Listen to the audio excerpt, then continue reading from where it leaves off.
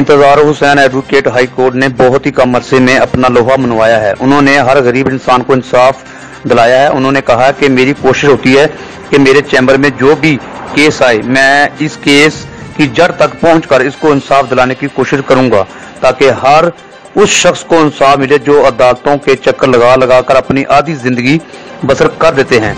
उन्होंने कहा कि मेरे दरवाजे हर वक्त खुले हैं। इन गरीब लोगों के लिए जिनको इंसाफ नहीं मिलता आखिर में चौधरी इंतज़ार हुसैन ने यू एक्सप्रेस से बात करते हुए कहा कि मेरी दिली दुआ है कि आप लोग हक और सच का साथ दें। और उन्होंने यू एक्सप्रेस की टीम को मुबारकबाद देते हुए कहा कि मुझे बहुत खुशी हुई है कि आप लोग रहीम यार खान में अपनी साफ्ती से, साफ्ती खिदमत सर अंजाम दे रहे हैं। Report Mian Talab Hussain, bureau chief U express Rahim Yar Khan.